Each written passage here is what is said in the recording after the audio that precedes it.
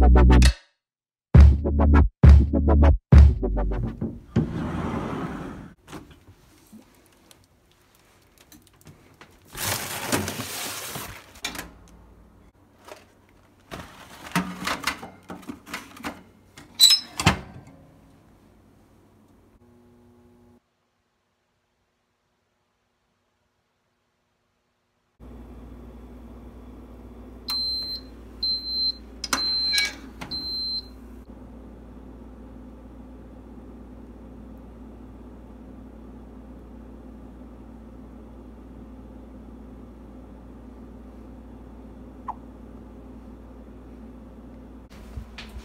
That's how you make waffles. Thanks for watching. Make sure to like, subscribe, follow.